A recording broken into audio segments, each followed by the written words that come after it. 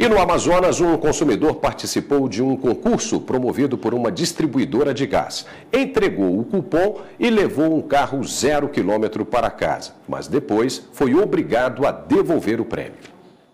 O sorteio foi em 2002. A intenção era comemorar os 10 anos da distribuidora de gás. O regulamento não permitia a participação de funcionários nem de parentes de primeiro grau dos que trabalhavam no estabelecimento.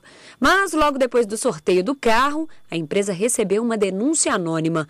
O ganhador era irmão de um dos empregados. O dono da distribuidora entrou na justiça, pediu a devolução do carro em primeira instância, o caso foi julgado procedente e o sortudo obrigado a devolver o prêmio. O Tribunal de Justiça do Amazonas não aceitou o recurso por entender que as regras da promoção estavam claras e que houve má fé por parte do sorteado ao mudar o nome no ato da inscrição e ao esconder a relação de parentesco. Ele não se deu por satisfeito, trouxe a questão para o Superior Tribunal de Justiça, alegou que era cliente da distribuidora, ou seja, havia uma relação de consumo.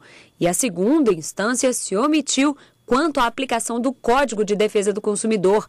Para o ministro Luiz Felipe Salomão, a decisão do Tribunal Amazonense analisou todos os aspectos importantes para solucionar o caso.